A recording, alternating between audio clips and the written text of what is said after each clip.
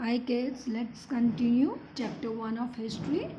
Yeah, now we all know how farming took place and then villages took place and all that, correct? Now we will learn how different empires emerged, the different regions, how they expanded, all that thing. Now, look in India, there were many, many kingdoms which were formed, like many different people from other countries came into our country and they ruled our country for many many years which are there are many like there were cholas there were Tughlaqs then there were moguls fine. This way there were many many. But one sanskrit writer he has written in detail about one of the ruler one of the king. He was the king of delhi. He was called the delhi sultanate his name was Ghiyasuddin Balban. Okay, he ruled our Hindustan for more than 20 years from the year 1266 to 1287.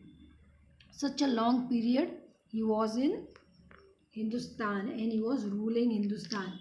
Yeah, here is a picture. See over here. He is Balban, the king, the Delhi king. Now when he was the king, he spreaded his kingdom.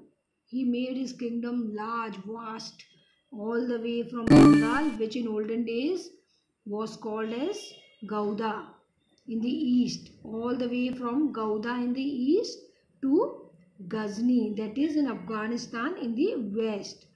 All the way from east Gauda to west Afghanistan, his kingdom was spreaded and even south part where Dravid river Dravid flows now over there that part also was under his kingdom. He was a very powerful kingdom king and he had defeated many many other kings. So there was one Sanskrit writer who has written a lot of books about him. Clear? Yeah.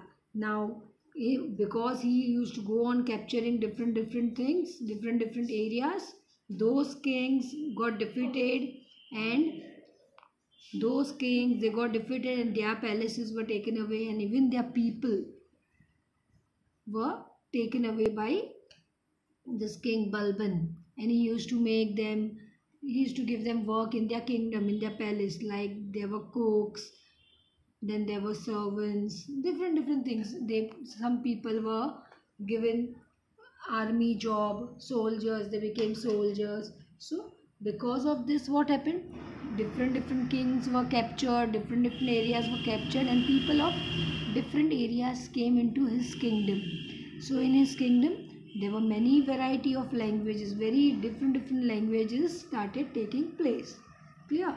Now there were people all the way from gauda that is bengal Andhra Pradesh, Kerala, Karnataka, Maharashtra, Gujarat.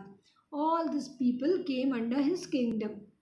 Okay, he defeated all the kings of these areas and took charge of those people and those areas. So his kingdom was very very vast and he ruled Hindustan for a very long period. Clear? Yeah.